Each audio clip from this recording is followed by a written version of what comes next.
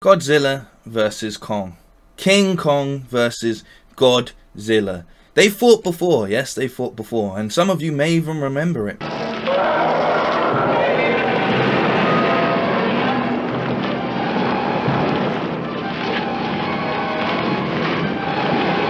But who would actually win? Today, I'm going to look at a few videos from both sides of the reptile family and the primate family, and we're going to try and decide who would actually win in a fight using science. And I figured that the two best animals to represent these would be the Komodo dragon on the side of Godzilla, and obviously a gorilla on the side of King Kong. So, let's have a little look and we'll make some decisions. Now, in a fight between Godzilla and King Kong, I think it comes down to a few things. Yes, Godzilla has the atomic breath, and he's basically an impenetrable monster, but on the other side of things, King Kong has a human-like ability to adapt and evolve and use his environment around him. That's right, I'm talking about tools. Now, firstly, what's Godzilla gonna do if King Kong rolls up like this? It's over. Godzilla's getting punched in the mouth and his lunch money's getting taken. It's as simple as that. He might even lose his chain. Now, if Godzilla was going up against a smaller monkey, it might end up like this. I would love to know who gets that close to any of these monsters. Like, literally, you're watching the Komodo dragon there, like, killing an animal, and you're like, yo, bro, bro i'm gonna i'm gonna get in close and get some footage for this for youtube. It's gonna be great. It's gonna be great man. Did you see how it just demolished that buffalo in a couple bites? Yeah i'm gonna i, I think i'm gonna get closer. But you have to remember that King Kong is a gigantic gorilla, and when a gorilla starts to get angry, there's not too much things in the world that can stop him.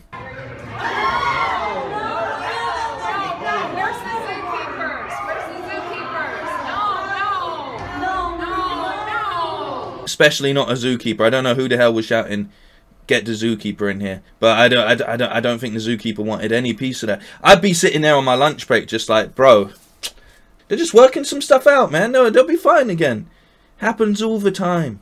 They're like giant toddlers that could rip your arms and legs off and eat your skull.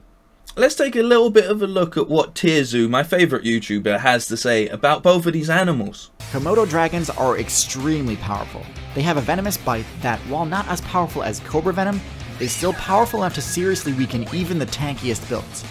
But even without that, they'd be an absolute powerhouse. Their tail swipes, claw slashes, and thrashing bites can easily shred through the HP of their targets.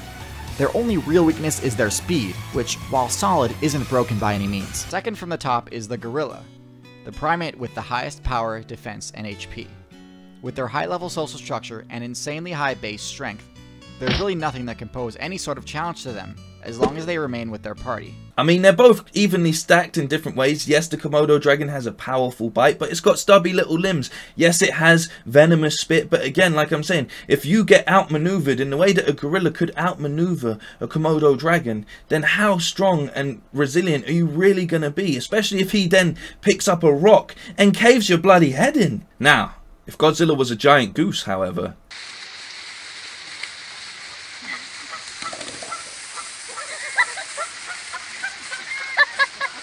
But to be fair to Godzilla, he does have the ability of the drop kick.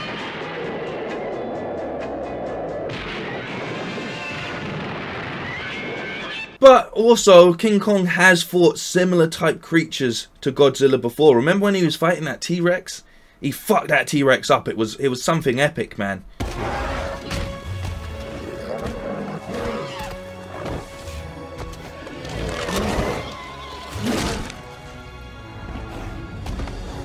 Now, you can't rule out the fact that King Kong can actually use tools. See, personally, if I was there, like, refereeing the fight, I would probably call disqualification, you know? You can't just run in the ring with a steel chair and hit Godzilla over the head. That's not what... It's not a hardcore match.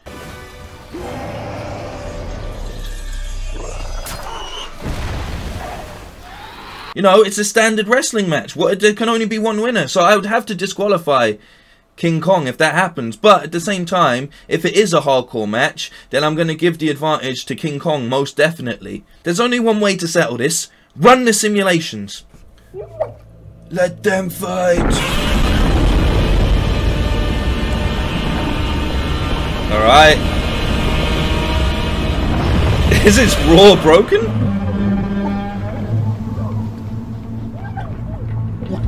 I mean, he's beastly. He's definitely beastly.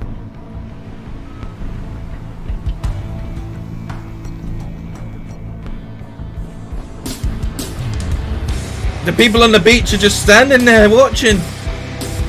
Get out of there, lady!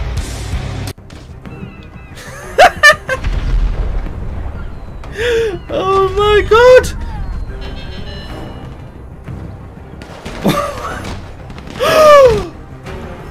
no! Get up! Fight back! Oh! Oh! Who's shooting at him?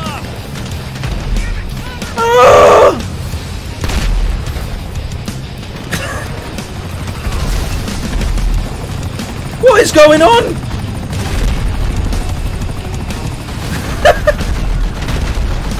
oh no, they're evenly matched, man. What is what is this? The body slam out of nowhere.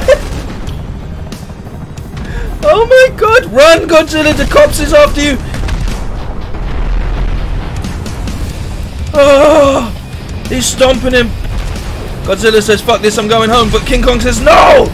I mean, as you can see, quite a realistic simulation right there. I'm pretty sure that it will come to a draw in some shape or form. And I feel like Stan Lee has said it best. The person who'd win in a fight is the person that the scriptwriter wants to win.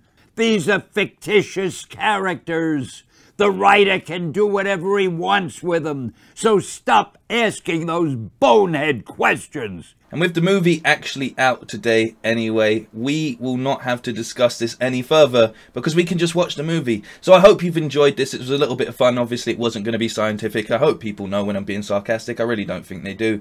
But other than that, take care of yourselves, look out for each other, and peace.